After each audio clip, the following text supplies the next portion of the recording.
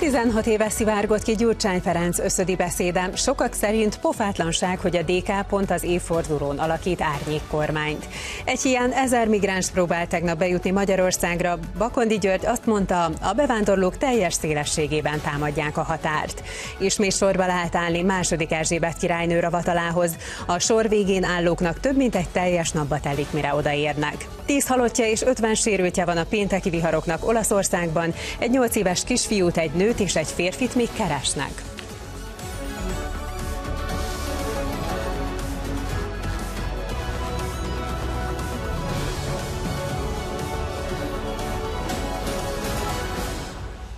Ez a híradó délben az M1-en és a Dunán. Köszöntöm nézőinket, Ábrahám Biola vagyok. Kormányülés volt délelőtt a Karmelita Kolostorban. A részleteket délután egytől ismertetik Gulyás Gergely miniszterelnökséget vezető miniszter és Szentkirályi Alexandra kormányszóvivő. A kormányinfót az M1-en ezúttal is élőben közvetítjük. 16 éve ezen a napon szivárgott ki az összödi beszéd, amelyben Gyurcsány Ferenc szűk körben beismerte, négy évig nem csináltak semmit, és hazudtak a választási kampányban is. Az országban ezután mindennapossá váltak a demonstrációk, amelyeket brutális rendőri erőszakkal folytott el a gyurcsányi terror rendőrsége. A volt miniszterelnök pártja az évforduló előestéjén közölte, hogy árnyék kormányt alakít Dobrev Klára, Gyurcsány Ferenc felesége. Az m nyilatkozó szakértő úgy fogalmazott, egyetért azokkal, akik szerint ez pofátlanság. Nem kell félni. Nem fog fájni. 2006 nyarán új kormánya megalakulása után szinte azonnal drasztikus megszorításokat jelentett be Gyurcsány Ferenc. 15%-kal emelték az áram és 30%-kal a gázárát, pedig a választások előtt nem ezt ígérték. Nem lesz lakossági gázáremelés, nem ezt mondtuk? Lett, a gázárát 30%-kal növeljük átlagosan. Gyurcsány Ferencék itt nem álltak meg, leépítették a családi adókedvezményeket, elvették a 13. havi nyugdíjat, felemelték a személyi jövedelemadó felső kulcsát és az áfát is. Kórházakat zártak be, és fizetősé tették az egészségügyet. Közben az IMF-től 20 milliárd eurós hitelt vettek fel, devizahitelbe hajszolták az embereket, és milliók kerültek kilátástalan helyzetbe miattuk. Lehet menni Magyarországról, itt lehet bennünket hagyni, kérem szépen. Mindenre Gyurcsány Ferenc azt mondta, ha nem tetszik, el lehet menni. Majd ősszel az őszödi beszéd kiszivárgásakor kiderült, Gyurcsány Ferenc tudatosan hazudott. Hazudtunk reggel, éjjel meg este. Egy hónappal a baloldal választási győzelme után 2006. május 26-án Gyurcsány Ferenc szűk körben Balatonőszödön így jellemezte elemezte kormány a tevékenységét beismerve, a szakadék szélére sodorták az országot. Trükkök százai, amiről nyilvánvalóan nektek nem kell tudni. Segítette, hogy ezt túléljük. Nincsen tovább. Nincsen. A bukott miniszterelnök azt is bevallotta, hogy négy éven keresztül a szocialista kormány nem csinált semmit. Elkuk. Nem kicsit, nagyon. A volt kormányfő arról beszélt, az MSP és a liberálisok végig tisztában voltak azzal, hogy baj van, de semmi mással nem foglalkoztak, mint hogy ez a választási kampányban nehogy kiderüljön. Európában ilyen böszmeséget még ország nem csinált, mint amit mi csináltunk. Meg lehet magyarázni. Nyilvánvalóan végig hazudtuk az utolsó másfél-két évet. Teljesen világos volt, hogy amit mondunk, az nem igaz. A trágár szónoklat egyes részletei szeptember 17-én szivárogtak ki. Gyurcsány Ferenc mondatai sokkolták az országot. Már aznap országszerte több ezres tüntetésen követelték azonnali távozását. A mindennapossá váló tüntetéseknek végül brutális rendőri fellépéssel vetettek véget Gyurcsány Ferencék. A legvéresebb napon az 1956-os forradalom 50. évfordulóján lovasrohamot, könygászgránátot, vízágyút is bevetettek, miközben szemmagasságban válogatás nélkül lőttek gumilövedékes puskákkal a békés tömegre. Készülünk. A DK elnöke hetek óta jelezte, hogy készül valamire, amit aztán egy nappal az őszidi beszéd kiszivárgásának évfordulója előtt közöltek. A DK elnöksége arra kérte fel Dobrev Klárát, hogy alakítson árnyék kormányt. Gyurcsány Ferenc felesége ezután már nem okozott meglepetést azzal, hogy közösségi oldalán közölte, el is fogadja a férje felkérését. Eljött az ideje, árnyék kormányt alakítok, fogalmazott bejegyzésében Dobrev Klára. Azok, akik azt mondják erre, hogy pofátlanság, azoknak szerintem teljesen igazuk van. Az árnyék kormányjal Gyurcsány Ferenc a cinizmus olyan fokára jutott, amit komolyan kell venni. Erről ifjabb Lomnici Zoltán beszélt az M1-en. A századvég jogi szakértője szerint a bukott miniszterelnök a hazai baloldalt hajtotta uralma alá, felesége Dobrev Klára pedig Brüsszelben dolgozik Magyarország ellen. Nem szabad félváról venni. Az elemző arra hívta fel a figyelmet, hogy Gyurcsány Ferencék a mögöttük álló nemzetközi pénzügyi körök, valamint Brüsszel segítségével buktatnák meg a tavasszal negyedszerre kétharmaddal megválasztott magyar kormányt, majd cserébe végrehajtanának mindent, amit a külföldi tőke és Brüsszel elvárt tőlük. Ezt komolyan kell venni, ezt a készülődést, hiszen nem a magyar baloldalban van potenciál, de Brüsszelben és a nemzetközi pénzügyi körökben Márkizaj Péter volt miniszterelnök jelölt mondta, hogy 100 millió áramoltak külföldről, tehát ezeket nyilván nem mi találjuk ki ezeket a, ezeket a a Brüsszellel és a nemzetközi pénzügyi körökkel kapcsolatos információkat. És az Lomnici Zoltán hozzátette, az a déke és az a baloldal akar visszajönni a hatalomba, ami a mai napig nem tudott elszakadni az évtizedes nemzetellenes politikájától és a külföldi érdekek képviseletétől. Guy Verhofstadt szerint az európaiaknak is szenvedniük kell a szankciók miatt, erről ír a Magyar Nemzet. A lap emlékeztet, a hazánkat is rendszeresen támadó liberális belga politikus még márciusban azt mondta, igen, szenvedni fogunk az orosz olaj és gáz betiltása miatt, de túléljük. Egy héttel később pedig még radikálisabban fogalmazott az Európai Parlamentben. Természetesen szenvedni fogunk. Nem lehet szolidárisnak lenni Ukrajnával, és egyben azt gondolni, hogy nem fogunk szenvedni. Ez nem szolidaritás, mondta.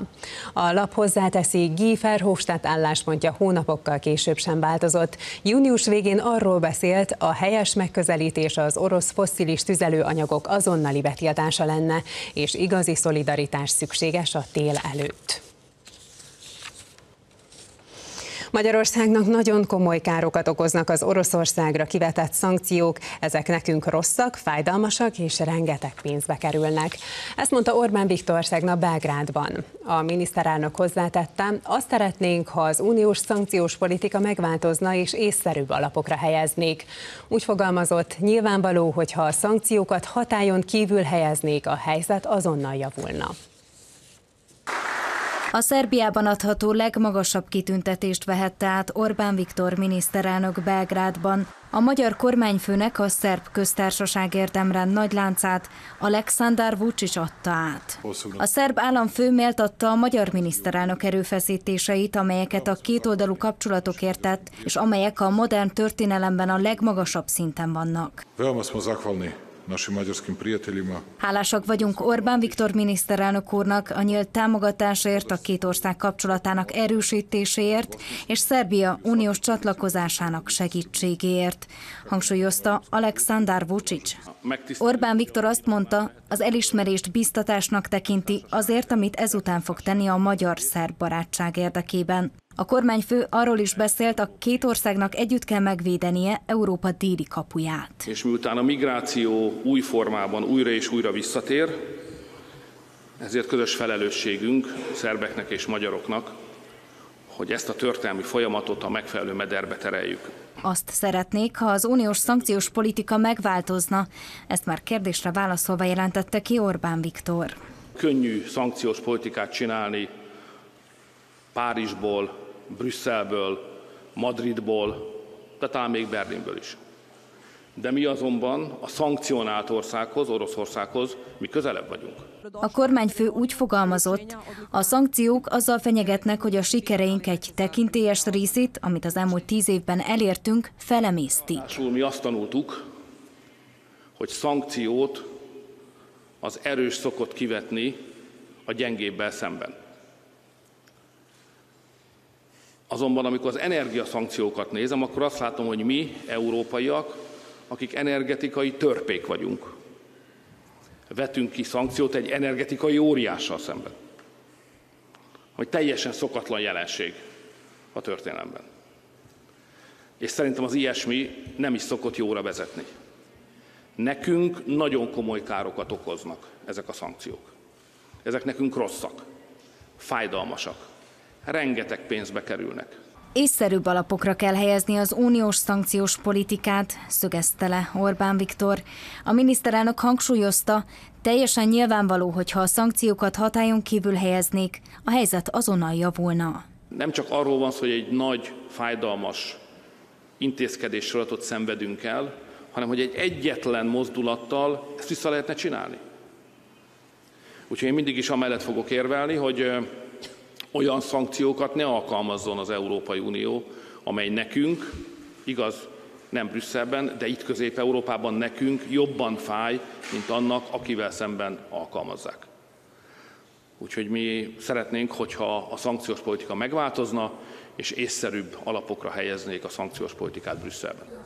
Az Európai Parlament csütörtökön elfogadott Magyarországról szóló jelentéséről a miniszterelnök azt mondta, csak azért nem nevetünk rajta, mert már unjuk. Ez egy unalmas vicc. Úgy látja, itt nem objektív ítéletalkotásról, hanem pártpolitikai támadásról van szó. A miniszterelnök közölte, Magyarországon választások szoktak lenni, kialakul egy parlamenti többség, és ha a többség jobboldali, akkor az nem tetszik a baloldalnak.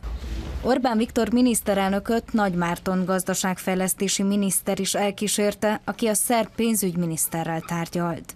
A belgrádi munkalátogatáson Szijjártó Péter az európai integrációért felelős szerb miniszterrel egyeztetett. A külgazdaság és külügyminiszter a találkozót követően azt mondta, az Európai Unió végzetes hibát követel akkor, hogyha továbbra is fékezi a szerbek európai integrációját. Nyugat-Balkánon az igazi stabilizáló erő Szerbia, ezért a szerb-európai integráció, a szerbek Európai Uniós csatlakozása az egész nyugat-balkáni térséget stabilizálni tudja, és fejlődési pályára tudja állítani. Ezért az Európai Uniónak, amit most tennie kell, az a szerb tárgyalások, szerb csatlakozási tárgyalások felgyorsítása. Arra kérjük a cseh elnökséget, hogy ez alatt az elnökségi fél év alatt eh, nyissunk meg nyolc új csatlakozási fejezetet. Szijjártó Szijjártó Péter hangsúlyozta, a Nyugat-Balkán stabilitása, nyugodt, kiegyensúlyozott fejlődése Magyarország nemzeti érdeke.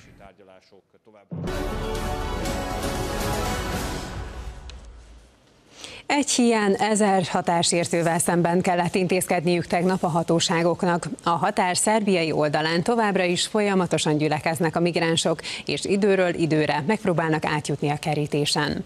Bakondi György, a miniszterelnök belbiztonsági főtanácsadója az m arról beszélt, a magyar határon nem lehet csak úgy átsétálni, következményei vannak az erőszakos fellépésnek.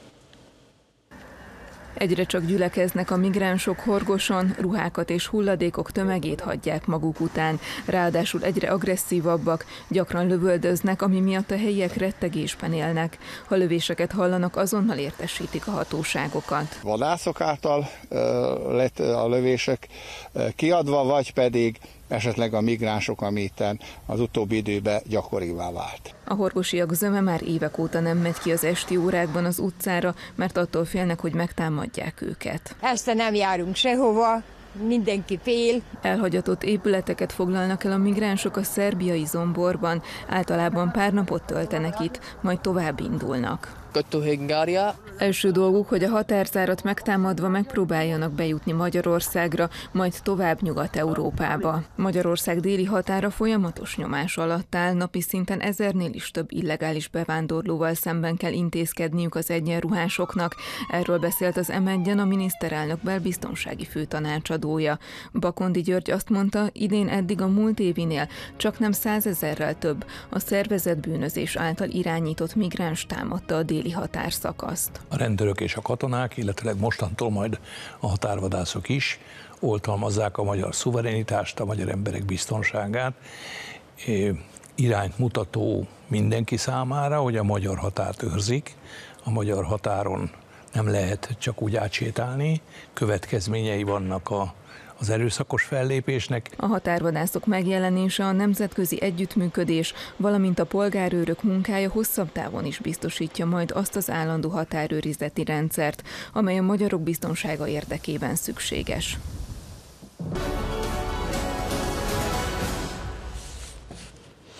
Sok barátunk van szerte a világon, feladatunk felerősíteni az ő hangjukat.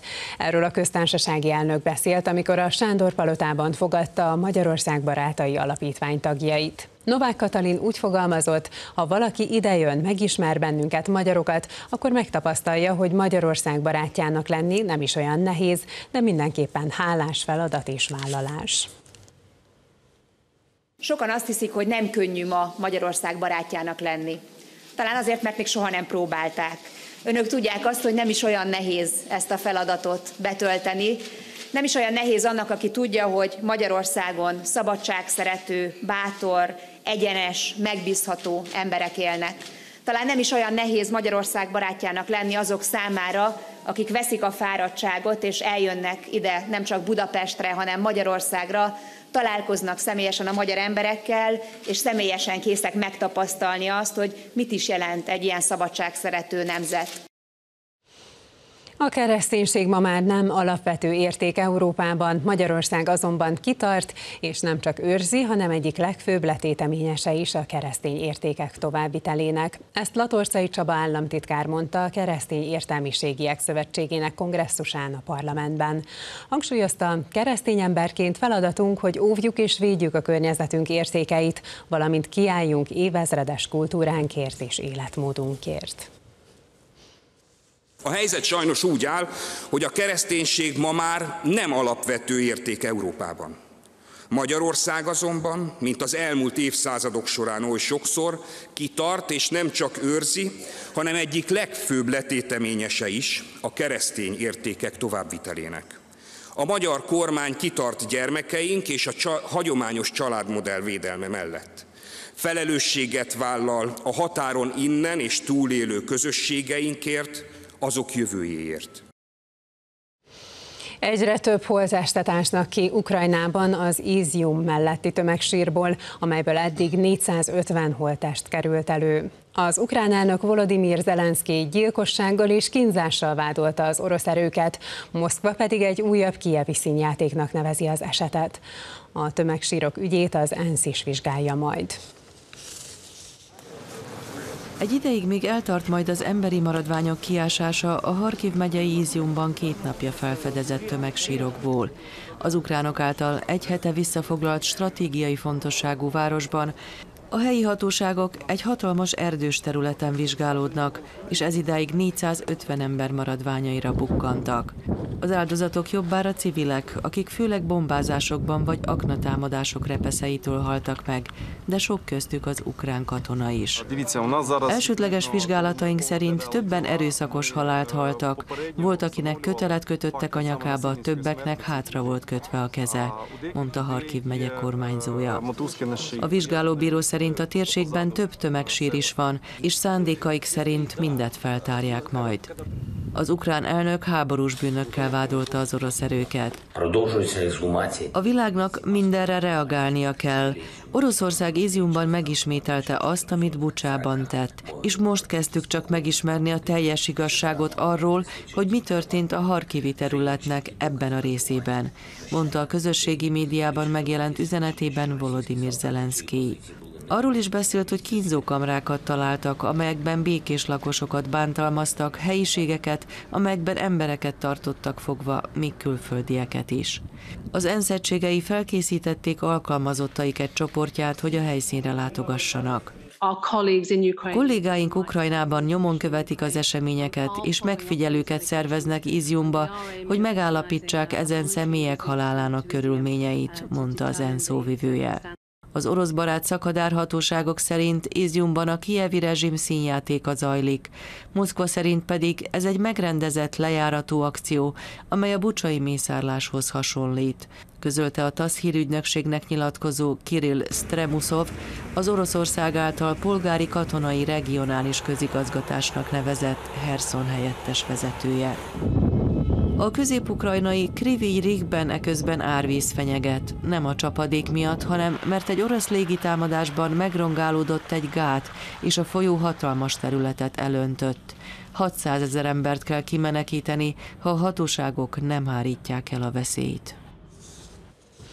A várakozások szerint hétfő hajnalig legalább 400 ezeren keresik fel második Erzsébet királynő ravatalát Londonban, a Westminster Hallban.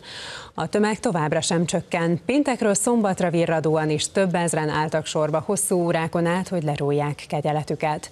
Az elhunyt uralkodót hétfőn a Windsori kastély emlékkápolnájában helyezik végső nyugalomra. A Buckingham palota ismertetése szerint a Londonból Windsorba vezető útvonalat úgy jelölték ki, hogy végig lakott területeken haladjon át, így jól megközelíthető legyen azok számára, akik végső búcsút kívánnak venni a néhai királynőtől. Továbbra sem csökken a tömeg Londonban, ezrek állnak be a sorba, hogy leróhassák kegyeletüket második Erzsébet királynő koporsója előtt a Westminster Hallban. A brit kormány péntek este bejelentette, hogy a hatalmas tömeg miatt elrendelt szünet után ismét be lehet állni a néhai uralkodó ravatalához vezető sorba. Azt is elmondták, hogy azoknak, akik jelenleg a sor végén állnak, több mint egy teljes napba telik majd, mire a ravatalhoz érnek. A legtöbben azonban kitartóak. Ha 30 órát kellene sorba állnom, azt is megtenném. Ha három napig kellene várnom, vagy tovább, az sem jelentene problémát, mondta egy angol nő. Az angol labdarúgó válogatott volt csapatkapitánya David Beckham is kivárta a sorát. 13 óra várakozás után jutott el a volt uralkodó koporsójához. A világhírű labdarúgó számos interjút is adott sorban állás közben, amelyben felidézte többek között, hogy milyen közös pillanatokat élt át az elhunyt uralkodóval. Számomra az egyik legkülönlegesebb pillanat az volt, amikor megkaptam a birodalmi rend tisztje, azaz az OBE kitüntetést, ahová magammal vihettem a nagyszüleimet is, akiknek köszönhetem, hogy nagy rajongója lettem a királyi családnak, mondta David Beckham. Harmadik Károly király és három testvére, Anna hercegnő, András herceg és Edvard herceg pénteken este érkezett meg a Westminster Hallhoz, ahol virasztást tartottak néhai édesanyjú koporsójánál. A Buckingham palota bejelentette, hogy lakott területeken áthaladó, az autópályákat elkerülő útvonalon szállítják hétfőn Londonból végső nyughelyére, Windsorba a múlt héten elhunyt második Erzsébet királynő koporsóját, így a kijelölt út mentén több tízezren fel tudnak sorakozni. A Windsori kastély kapujánál már péntek este próbát tartottak. Sokan ellátogattak az eseményre, akik hétfőn nem tudnak majd részt venni a temetésen. Hétfőn nem tudok itt lenni, szóval ez volt számomra a legjobb megoldás. Csodálatos volt ezt végignézni itt a sötétben, hallani a dobokat, nagyon megható volt, mondta az egyik érdeklődő. A hétfői Windsori temetés előtt a ravatalozó helység, vagyis a Westminster Hall közvetlen közelében emelkedő Westminster apátságban lesz a búcsú szertartás 2000 meghívott vendég, köztük külföldi állam és kormányfők jelenlétében. Több európai monarchia uralkodói is jelezték, hogy részt vesznek a szertartáson, és jelen lesz Joe Biden amerikai elnök is. Tovább keresik a pénteki viharban eltűnt embereket Közép-Olaszországban. Egy nyolc éves kisfiút, egy nőt és egy férfit keresnek. A hatóságok eddig 10 halottról számoltak be, 50 embert kórházba vittek, és mintegy 150-et kellett kimenekíteni a lakóhelyéről, mert a víz és a sár lakhatatlanná tette az otthonukat. Két óra alatt 400 mm csapadék esett a térségben, annyi, amennyi általában fél év alatt szokott. Szlovénia és Horvátország egyes részeit is elérte az ítéletidő, jelentős anyagi károkat okozva. Vastag sár borította be az utakat és az udvarokat péntek reggelre Közép-Olaszországban. A helyiek azonnal hozzá a takarításhoz. A villámáradás nyomai az épületek falán is jól látszódnak. Egy ott lakónő megmutatta a vízszintjét jelző csíkokat, amelyek neki épp a homloka magasságába esnek. Az áradat áthömpölygött az épületeken és magával ragadta a berendezési tárgyakat. Minden nagyon gyorsan történt, de vannak, akik nálunk sokkal szerencsétlenebbül jártak. Többen meghaltak. Ezért nem is mondok semmit, csak azt, hogy fel kell tűrjük az ingójunkat, hogy kitakarítsunk mindent, mondta egy helyi férfi. Az emberek a tűzoltóság és a polgári védelem segítségére számítanak, hogy kiszivattyúzzák a vizet és segítsenek a sár elhordásában. A mélyebben fekvő területeken az ár levonulása után is tengeig álltak a vízben a járművek, és a pincéket, garázsokat is ellepte a víz. A hirtelen lezúduló, hatalmas mennyiségű eső miatt csütörtök este megduzzadtak a folyók és kiléptek a medrünkből. Elárasztották a településeket, az utakat és a mezőket, halálos áldozatokat is követelve. Többeket eltűntként tartanak nyilván. A mentőcsapatok csónakokkal és helikopterekkel menekítették a bajba jutott embereket. Voltak itt az autójából, másokat fákról vagy házak tetejéről. Az egyik völgyben fekvő kis települést is súlyosan érintette a természeti katasztrófa. A helyiek órákon át kutattak egy nő és a gyermeke után, akiket magával ragadott a saras, törmelékes áradat. A világ vége megtörtént, ahogy látható mögöttem. Ez egy kis falu, egy völgy mélyén, és ami tegnap itt lezajlott, apokaliptikus volt.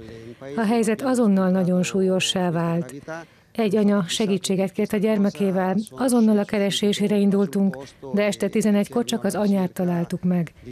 Mondta megindultan a település polgármestere. Mario Draghi miniszterelnök a térségben tett látogatása során arról beszélt, egyre sürgetőbb cselekedeteket követel az éghajlatváltozás. Szeretném kifejezni a kormány és az én személyes szolidaritásomat az érintettekkel. Meghallgattuk a helyi polgármestereket, akik az újrakezdés vágyáról, a gyászról és a tragédiáról beszéltek, és a környék biztonságának újjáépítését szorgalmazzák az itt élők és azok számára, akiknek nem maradt lehetőségük az itt maradásra, és most elmenni kényszerülnek. Mondta az olasz miniszterelnök, aki hozzáfűzte, ez egy igazi katasztrófa, de a kormány mindent elkövet, hogy segítsem. Földcsúszamlásokat okoztak a heves esőzések Szlovéniában is. Az utakat víz öntötte el, helyenként lehetetlenné téve a közlekedést. A hatóságoknak néhány házból ki kellett menekíteniük az ott élőket. A viharok Horvátország több települését is elérték. Az erős szél tetőket tépett le, fákat csavart ki, teherautókat borított fel és leszagadta a vezetékeket, ami áramkimaradásokhoz vezetett. Az anyagi kár hatalmas, de áldozatokról nem érkezett hír. A térségben még szombaton is jelentős mennyiségű csapadékra figyelmeztetnek, ami megnehezíti a károk felszámolását. Több ház leégett a kaliforniai Oaklandben, amikor az egyik autópálya töltésén keletkezett lángok átterjedtek egy közeli kertvárosra az Egyesült Államokban. A tűz miatt 15 embernek kellett elhagyni az otthonát, és átmenetileg ezrek maradtak áram nélkül. Egy tűzoltó bevetés közben megsérült, őt kórházba szállították. Franciaország délnyugati részén pedig valószínűleg emberi mulasztás okozta a hét eleje óta tomboló tűzvészt, ahol mostanra sikerült megfékezni a lángokat. Több mint 3700 hektárnyi terület pusztult el. Sűrű füsttel és hatalmas lángokkal körülvéve dolgozik két tűzoltó egy égőház tetején a kaliforniai Oaklandben. Az ingatlant már nem lehet megmenteni, ezért azon fáradoznak, hogy valamelyest megakadályozzák a tűz továbbterjedését. Az egyik autópálya töltésén égő növényzetből származó parázs elérte a házakat. Legkevesebb három ház leégett, több pedig átmenetileg lakhatatlanná vált. 15 embert kellett kitelepíteni. A környéken ezrek maradtak áram nélkül. Egy tűzoltót kórházba szállítottak a hőség okozta sérülések miatt. Azt, hogy mi okozta a szerencsétlenséget, egyelőre nem lehet tudni. A hatóságok vizsgálatot indítottak. Franciaország délnyugati részén sikerült megfékezni a hétfő óta tomboló erdőtüzeket. Akár azonban tetemes, a lángok több mint 3700 hektárnyi növényzetet és erdőt emésztettek fel. A négy házat és több épületet elpusztító tűzvész miatt a hatóságok a hét elején legkevesebb 1800 embert evakuáltak, ők mostanra visszatérhettek otthonaikba. Több mint ezer tűzoltót vetettek be, hogy megállítsák a lángok terjedését, közülük heten könnyebben megsérültek, de egyikük sem szorult kórházi ellátásra. Az oltásban légierő is bekapcsolódott kilenc repülőgéppel és két helikopterrel. A tűz keletkezésének egyetlen lehetséges okát sem zárják ki, bár az elsődleges feltételezés szerint gyújtogatás történhetett. Franciaországban idén már 60 ezer hektárnyi területet perzseltek fel a lángok.